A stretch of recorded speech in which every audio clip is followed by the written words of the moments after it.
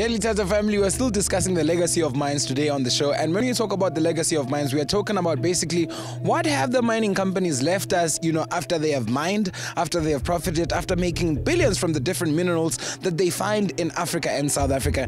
And I know that, Pramesh, you are one of the people that has had a long relationship with a mine. And what do you think about the legacy of mines in South Africa? The mines, as you see around, have left us without a rehabilitated land. Mm. Uh, but with acid mine drainage, uh, the land cannot be used for anything else, but it's left like this.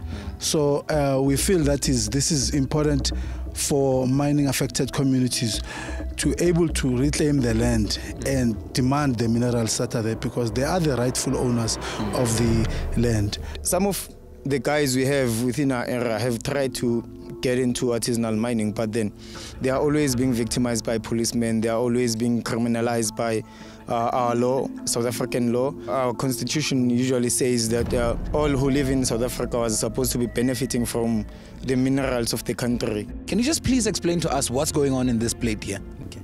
Here at the top of this uh, black soil, there's small portions of uh, yellow particles, which is the gold which has been uh, discovered from the process which was done. After being purified from here, they burn it and mix it with uh, mercury, which would make it uh, solid. Then from there, they're gonna take it and burn it again so that they remove the mercury out of the the gold, and the gold will stay as pure as, as its natural form. ha mmuso o ka le thusa mohlomong ka di-license tsa o processa gauta e na e ka thusa kgwebo ya lona? E ka ba right ge ba ka re support.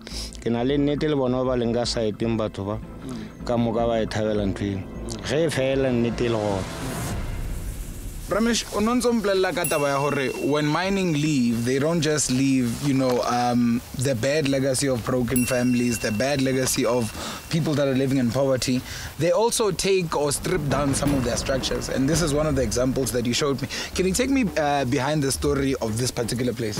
Okay, this was called uh, Mine, where the workers used to stay here after work. But what happened is when the Vlakfontein Mine closed down, mm. they or not just destroyed the place, but they chased away the workers to go say, go and look for places. And these people, and most of them are not from around; they're from mm. far away.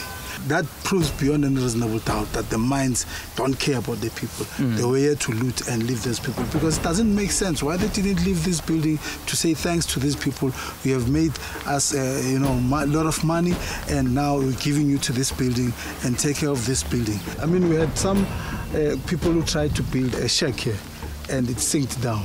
And that's when they start to know. Fortunately, those people didn't just die, but they're now aware of this place. That is, this place is dangerous.